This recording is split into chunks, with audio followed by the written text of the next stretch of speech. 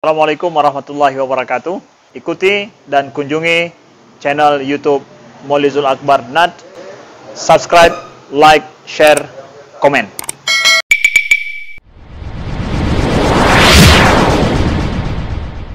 Orang yang mempersiapkan diri atau menunggu waktu solat maka senantiasa mendapat pahala solat selama dia waktu menunggu tersebut. Walaupun dia tidak solat. Walaupun dia sedang tidak solat persiapan menuju ke solat itu sudah mulai dihitung seperti mendapatkan pahala solat. Atau menunggu dari waktu solat ke solat yang lain duduk dalam keadaan seperti begini kita tidak solat. Tapi dihitung seperti mendapatkan pahala salat. Nah. Dan ini disebutkan oleh Nabi sallallahu alaihi wasallam dalam hadis riwayat Bukhari Muslim dari Abu Hurairah radhiyallahu anhu qali qala Rasulullah sallallahu alaihi wasallam la yazalu ahadukum fi salatin ma damatis salat tahbisuhu la yamna'uhu an yanqaliba ila ahli illa salat jadi Rasulullah mengatakan senantiasa seseorang dari kalian dihitung seperti salat. Dihitung seperti dia melakukan salat atau seperti keadaan salat selama dia menunggu atau menanti salat atau menanti pelaksanaan salat yang mana tidak ada yang menghalangi dia yang qaliba ila ahli untuk kembali kepada keluarganya kecuali salat artinya bahasa nabi tidak ada yang menghalanginya untuk pulang kecuali solat. Ini menunjukkan dia sebenarnya ingin pulang. Tapi karena menunggu solat, dia tidak pulang. Berarti lebih memilih Allah daripada keluarga. Persiapan menuju ke pelaksanaan solat membuat dia terhalang untuk berlama-lama dengan keluarga. Nah, misal contohnya azan jam tujuh contohnya. Kita dari setengah tujuh sudah mandi sudah uh, bersiap-siap lalu kita menuju ke masjid. Seharusnya kita masih punya waktu sekitar 30 menit untuk bersama keluarga masih punya waktu untuk uh, bercanda dengan keluarga ya. tapi terhalangnya kita melakukan itu karena hanya mempersiapkan diri untuk salat atau kita tidak pulang dari satu salat ke salat yang lain padahal kita sebenarnya ingin pulang tapi karena karena salatlah yang membuat kita tidak pulang nah perasaan terikat dengan salat seperti ini inilah yang bisa menyebabkan kita mendapatkan pahala seperti melakukan salat. Walaupun belum salat. Walaupun belum salat. Nah, jadi Bapak Ibu yang dimuliakan Allah Subhanahu wa taala dalam kitab Dalilul Farihin yang mensyarah Riyadhus Salihin karena syarah syarah Riyadhus Salihin itu ada beberapa syarah.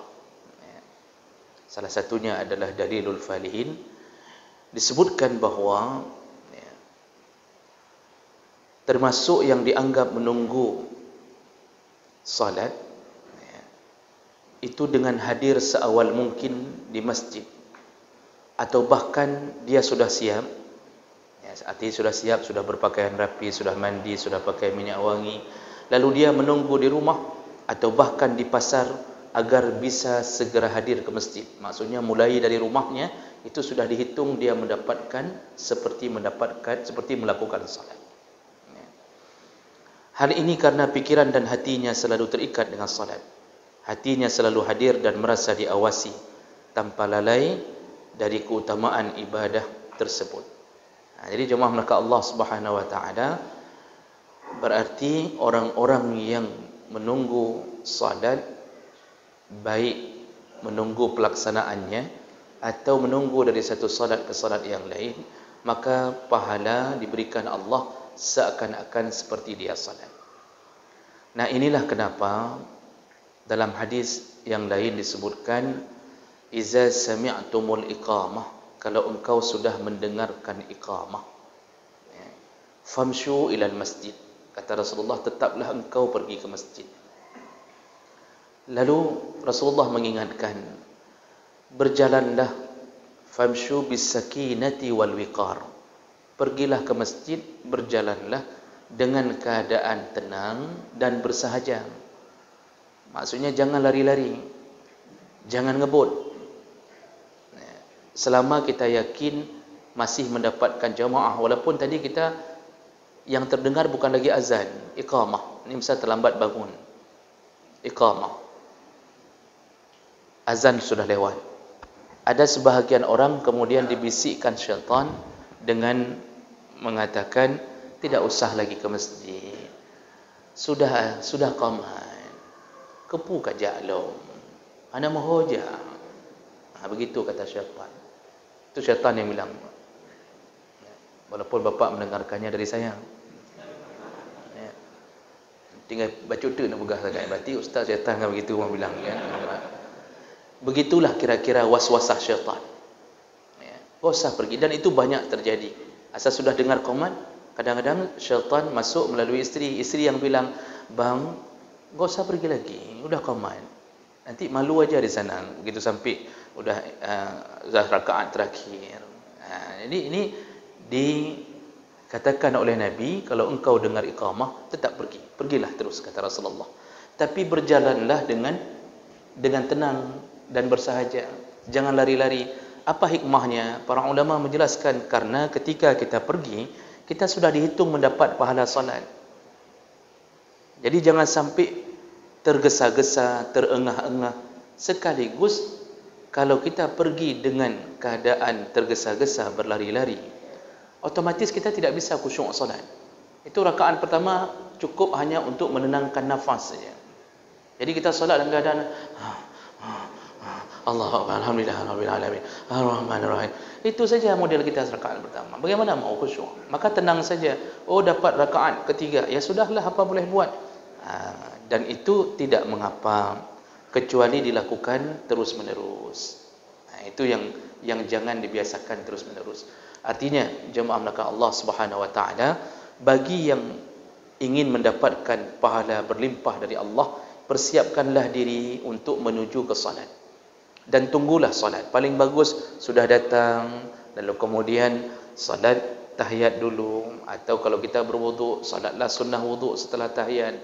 Ha, kemudian ha, duduklah sambil menunggu azan. Nah ini orang-orang yang yang begitu besar pahalanya. Cuma itulah karena Allah tidak menampakkan pahala. Jadi kita terasa lemah. Kita terasa lemah karena yang kita lakukan hari-hari enggak nampak pahalanya. Kita menunggu-nunggu oh apa ada apa le pahalanya. Tidak nampak. Di sinilah alladzina yu'minuna bil ghaib. Orang beriman itu beriman kepada yang gaib. Dan yakinlah Tuhan kita tidak akan mengingkari janji. Tidak akan mengingkari janji. Setiap apapun yang dilakukan tidak akan dihilangkan Allah. Pasti dapat inna la nudhi'u ajra man ahsana amala.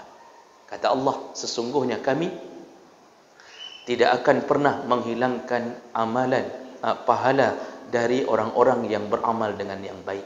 Tidak akan kami hilangkan kata Allah. Jadi yang menghilangkan siapa? Ya kita dari ya kita sendiri. Ya dengan cara mengungkit-ungkit amalan tersebut. Nah, itu bisa menghilang.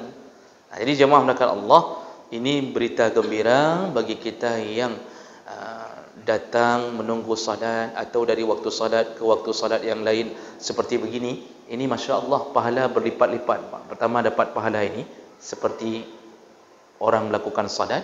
Yang kedua belum lagi kita bahas pahala menuntut ilmu. Ya.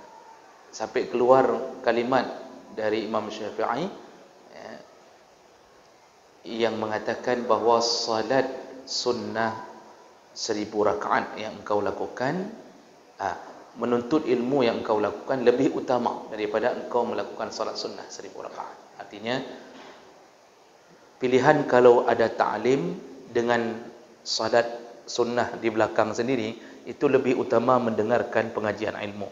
Karena dengan mendengarkan pengajian ilmu bertambahlah keimanan.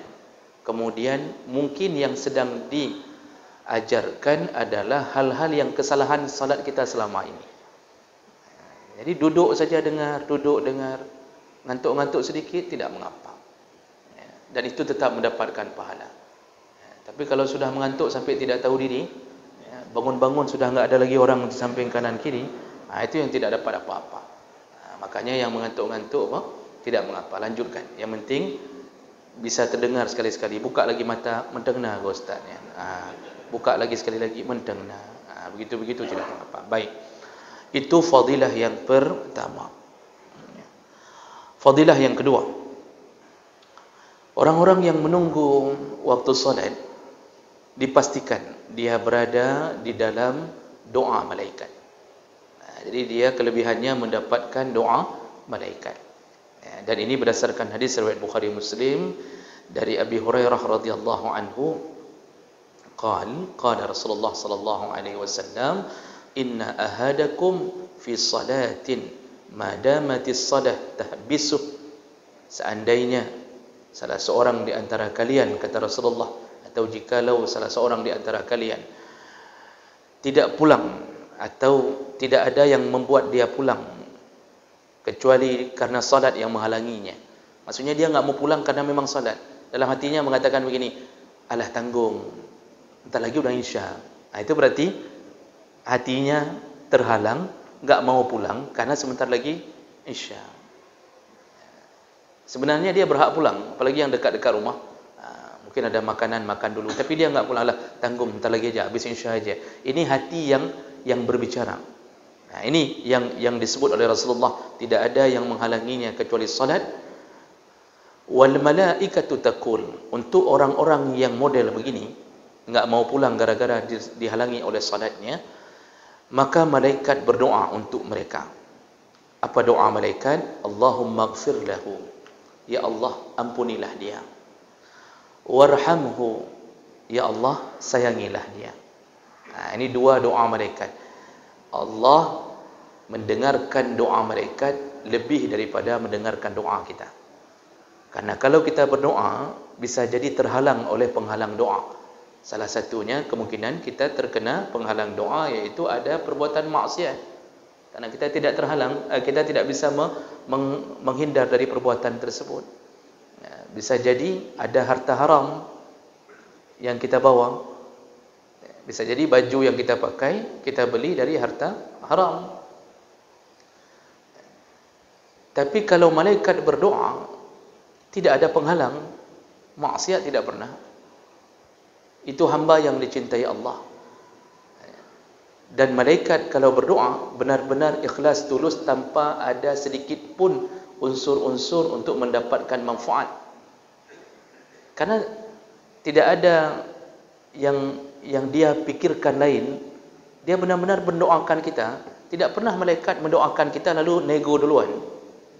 Kiban kamu doa kekah menyo sabar doa ha, begitu kita misal satu doa berapa besar bayar atau apa uh, kompensasinya tidak ada kalau dia berdoa tidak ada harapan dibalas oleh orang yang didoakan oleh hamba Allah doakan. Jadi benar-benar keikhlasannya hanya berharap kepada Allah agar orang ini diselamatkan Allah. Kenapa bisa begitu sifat malaikat? Karena Allah kalau sudah mencintai seorang hamba, maka Allah akan memanggil Jibril. Lalu Allah berkata, "Wahai Jibril, ana uhibbu fulan fa ahibbu." Aku mencintai fulan, maka cintailah dia. Ah, Jibril sebagai panglimanya para malaikat lalu memanggil semua malaikat dan berseru ya, iblis mengatakan kepada semua malaikat innallaha yuhibbu fulan wa ana uhibbu wahai para malaikat Allah mencintai fulan dan aku pun mencintainya karena Allah mencintai fulan maka cintailah fulan kata malaikat jibril kepada seluruh malaikat maka semua malaikat mencintainya lalu ditanamkanlah rasa cinta kepada hati-hati orang yang di atas bumi maka kita menjadi orang yang dicintai perasaan ini yang malaikat bawa dia cinta kepada kita yang menunggu salat. Padahal salat itu bukan untuknya. Dia hanya ingin melampiaskan cinta Allah. Lalu dia pun mencintainya. Maka doanya adalah, Ya Allah, ampunkanlah. Kenapa doa ini yang diminta? Kenapa tidak diminta, Ya Allah, kayakanlah dia. Ya Allah, gantengkanlah. Ya Allah, berikanlah anak. Ya Allah, berikanlah dia isteri yang salihah. Tidak ada doa. Tapi yang yang dia katakan kepada Allah, Allah maghfir lahu. Ya Allah ampunkanlah orang ini yang menunggu salat ini.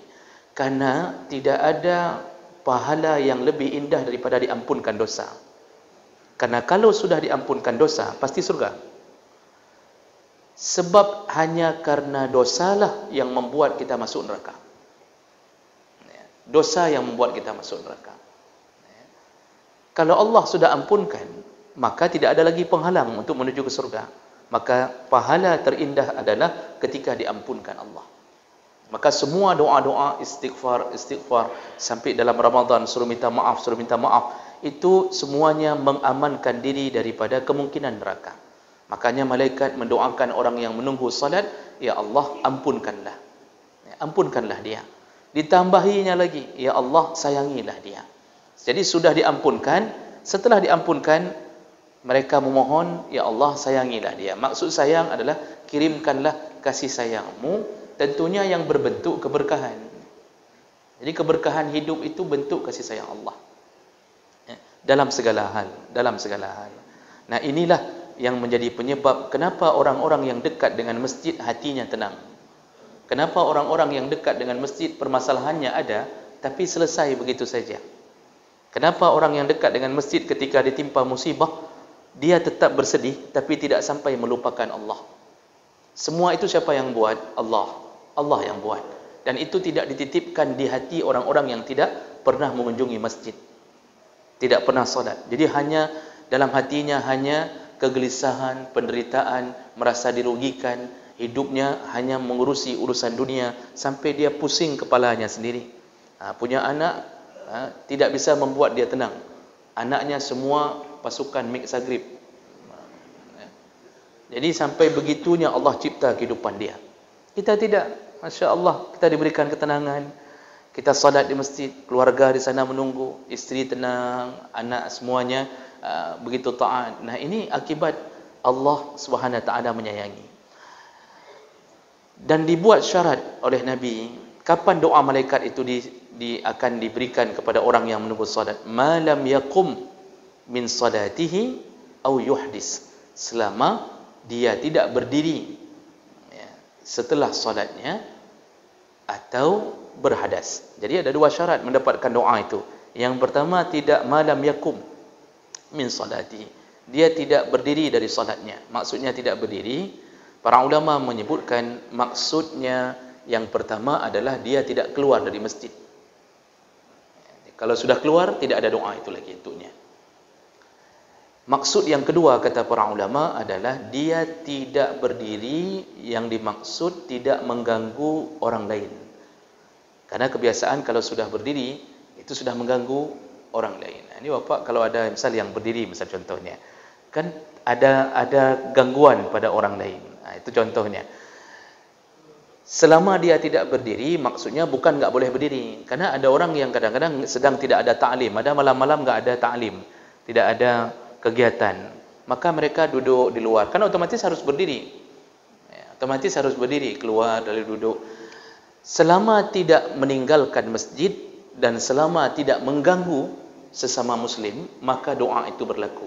Walaupun kita duduk di luar.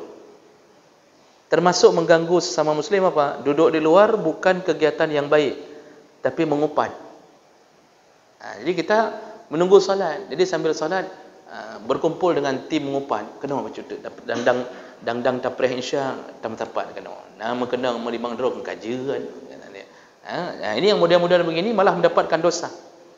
Tapi kada orang yang duduk tapi berbicara masalah agama tanya hukum ini tanya hukum itu bicaranya masalah agama atau memikirkan ha, bagaimana nanti kita buat apa yang kita bisa lakukan untuk masjid ini macam-macam yang dalam pikirannya demi kebaikan mereka masih tergolong yang didoakan malaikat Ha, tapi kalau dengan ta'lim seperti ini berlipat-lipat pahalanya. Karena bertimpal dengan pahala menuntut ilmu.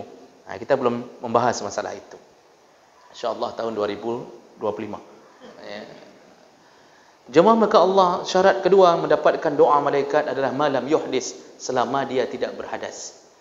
Ha, ini menjadi kata kunci Imam Ibn Hajar Al-Asqalani dalam Fathul Bari itu menyebutkan maksud berhadas itu adalah hadas hakiki. Ya, maksud hadas hakiki selama dia belum buang angin, ya, maka dia dapat doa itu.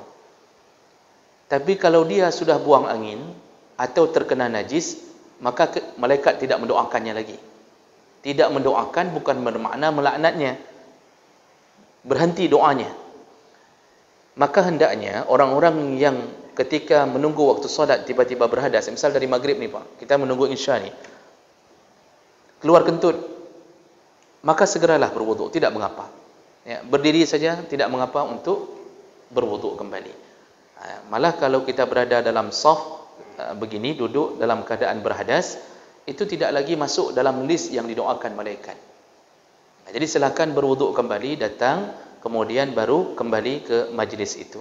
Nah, jemaah menekan Allah, dari keterangan-keterangan ini menunjukkan apa? Ternyata malaikat tidak berdoa sekali, tapi yukarrir, mengulang-ulang doanya. Karena tadi bahasa-bahasanya adalah selama tidak berdiri atau keluar dan selama tidak berhadas. Berarti dari maghrib tadi, malaikat mengulang-ulang kalimat untuk kita, Ya Allah, ampunkanlah. Ya Allah, sayangilah mereka. Ampunkanlah mereka. Berulang-ulang. Karena malaikat tidak merasa capek dengan mengulang itu. Kita yang terasa capek. Baru satu doa capek. Ya? Nah, malaikat tidak. Bayangkan bagaimana nikmatnya menjadi seorang muslim yang diperkenalkan agama ini oleh Allah Subhanahu wa taala. Sekali lagi, namun yang membuat kita lemah hari ini adalah tidak nampaknya pahala. Tidak nampaknya malaikat. Padahal ni malaikat ada ni. Dan malaikat tahu ni mereka sedang disebut-sebut dalam pengajian ini. Ya. Ini malaikat sedang berada di antara kita. Ya. Namun karena kita tidak nampak, kita hanya beriman ada malaikat dan mereka adalah hamba Allah yang begini. Kita beriman saja. Ha, nanti kalau mau lihat, tunggu dulu sampai sakaratul maut. Jadi kalau mau lihat, tunggulah sakaratul maut. Itu baru nampak malaikat pertama. Itu baru nampak. Ya. Selain daripada itu, tidak akan pernah melihat yang belum diizinkan Allah melihat. Kecuali diizinkan Allah kepada hamba-hambanya yang dipilih Allah seperti para nabi. Nah, itu bisa melihat para malaikat. Ada yang melihat langsung, ada yang menjelma. Nah, semua nabi